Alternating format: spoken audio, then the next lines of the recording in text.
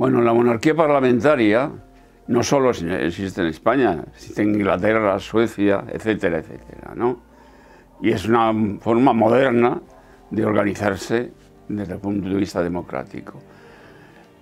La fuerza del rey Juan Carlos en el momento después de la muerte de Franco fue muy importante para implantar la democracia en España, sin duda. Y luego ha seguido jugando el papel que señala la Constitución. Un papel de figura representativa, sin poderes ejecutivos, pero con una gran calidad, como ha sido siempre, desde el punto de vista no solo, digamos, como figura española, sino como diplomáticos. Tanto el rey Juan Carlos como su hijo juegan un papel fundamental en la política exterior española.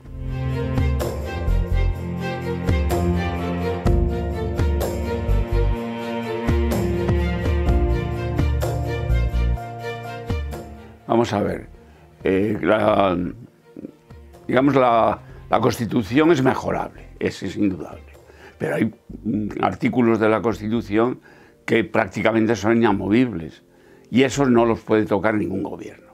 Por muchas ganas que tengan de echar abajo la monarquía, como el caso de Podemos y demás, esos no se tocan. Están relatados en el artículo 168 de la Constitución.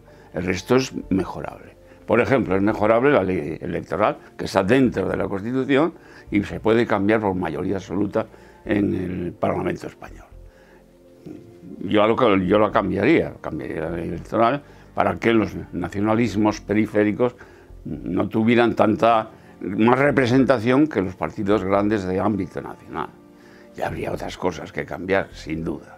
Ahora, lo que, el bloque constitucional, es, yo lo he dicho, son los artículos que están relacionados en el 168, entre ellos la monarquía.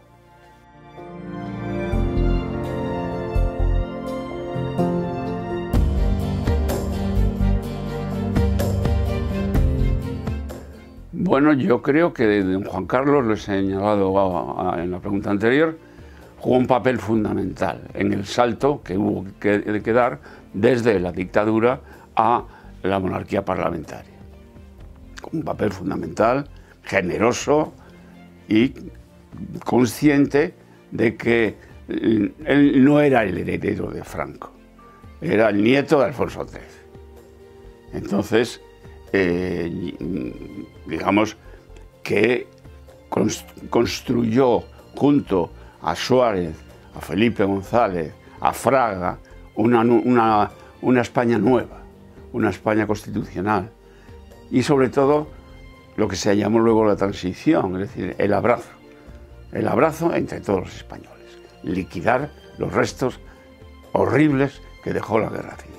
Y en eso jugó un papel fundamental. Y el hijo me parece que está mm, haciendo un papel imprescindible. Por ejemplo, con la salvajada que hicieron los separatistas catalanes salir a dar la cara el día 3 de octubre, si no recuerdo mal la fecha, poniendo las cosas en su sitio.